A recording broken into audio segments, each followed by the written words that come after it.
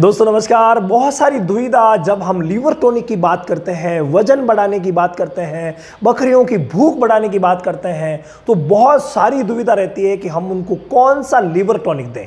तो दो liver tonic आपको मार्केट में बहुत ज़्यादा चर्चित है और ऑल ओवर इंडिया में सब जगह मिलते हैं, जिनमें से एक है ब्रोटॉन और एक है लिव 52 अब भाई आप लोगों के जो कमेंट्स आते हैं ना, बहुत शानदार आते हैं और मुझे बड़ा मज़ा आता है उन पर वीडियो बनाने में। तो अक्सर भाई पूछ रहे थे कि हम ब्रोटोन का इस्तेमाल कब करें और लीवर टॉनिक में लिव 52 का इस्तेमाल कब करें, दोनों में से बेस्ट कौन सा है? तो दोनों में से बेस्ट कौन सा है, ये बात तो मैं आपको अंत में बताऊँगा, लेकिन उससे पहले आप ये सुन लीजिए कि दोनों का वर्क क्या है।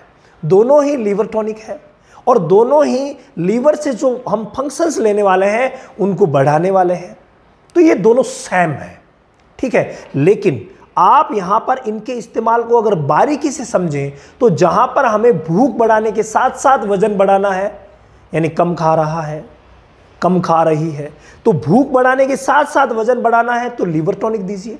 और आपको वज़न बढ़ाना है, भूख अच्छा खा रहा, पी रहा है तो वज़न बढ़ाना है और लीवर को स्टिमुलेट करना है तो आप ब्रोटोन दीजिए। बाकी ये गौण फ़र्क है, दोनों अच्छे काम करेंगे। Liver tonic as a liver tonic दोनों बढ़िया काम करते हैं। आप दोनों में से कोई सा भी यूज़ कर सकते हैं। यानी कोई भी बड़ा बड़ी वाला मामला यहाँ है ही नहीं। कौन सा बेस्ट है, वही बेस्ट है जो आपके एरिया में इजीली मिल रहा है। ठीक है? अब आपके यहाँ ब्रोटोन इजीली मिल रहा है, लीफ मिल ही नहीं रहा। तो आपके लिए बेस्ट कौन सा हो गया? ब्रोटोन हो गया। यानी कि अगर लीव 52 इजीली मिल रहा है तो लीव 52 हो गया।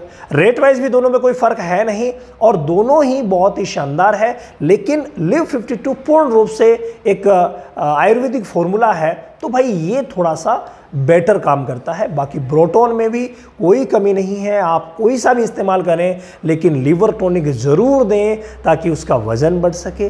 भूख बढ़ सके, जो भी खा रही पी रही है बकरियाँ, वो उनके शरीर को लग सके। तो लीवर टॉनिक देना है, मस्ट देना है, लेकिन भाई जो हमेशा दे रहे हैं, प्लीज़ रुकिए। आप लीवर टॉनिक को 10-15 दिन से ज़्यादा लगातार मत दीजिए। यानी महीने में 10 दिन अगर इन इमरजेंसी है तो आप 15 दिन दीजिए। इससे ज़्यादा लीवर टॉनिक को आप मत दीजिए। तो बहुत ही बढ़िया रहेगा।